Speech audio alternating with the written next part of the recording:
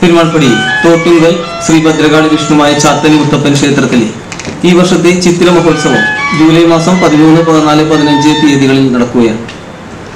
അതിനോടനുബന്ധിച്ച് ക്ഷേത്രത്തിൽ അയ്യപ്പ ത്രയാഹ യജ്ഞം നടത്തപ്പെടുന്നു.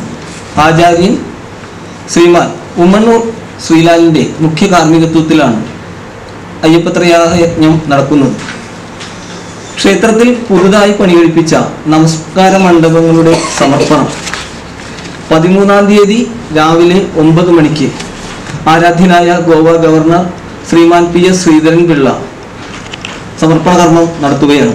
ഈ ചടങ്ങിലേക്ക് നമ്മുടെ ആരാധ്യനായ panchayat president Srimathi Rasikala Priyaraj Njarakkal panchayat president Mini Raju block panchayat president Saritha Sanal Sriman Dono master അഖില ഭാരത നാരായണീയ മഹോത്സവ സമിതിയുടെ സംഘടനാ സെക്രട്ടറി എം ഡി വിജയകുമാർ ചലച്ചിത്ര താരങ്ങളായ സായികുമാർ ബിന്ദു പണിക്കർ ശ്രീ ബാല തുടങ്ങിയവർ ഈ പരിപാടിയിൽ പങ്കെടുക്കുന്നതാണ്.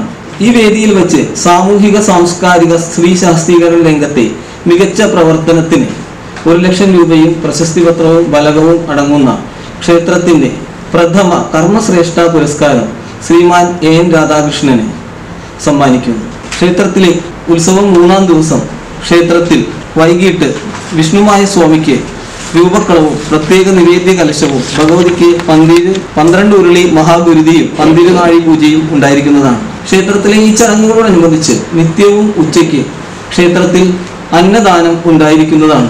ക്ഷേത്രത്തിൽ പുതുതായി പണി കഴിപ്പിക്കാൻ പോകുന്ന നടപ്പുരയുടെ ശിലാസ്ഥാപനം ആഗസ്റ്റ് മാസം ആറാം തീയതി വൈകിട്ട് അഞ്ചു മണിക്ക് സംപൂജ്യ ചിദാനന്ദപുരി സ്വാമികൾ കുളത്തൂർ അദ്വൈതാശ്രമം മഠാധിപതിയായ ചിദാനന്ദപുരി സ്വാമികൾ നിർവഹിക്കും. സാമൂഹിക സാംസ്കാരിക കലാ രാഷ്ട്രീയ രംഗത്തെ പ്രമുഖർ പങ്കെടുക്കും.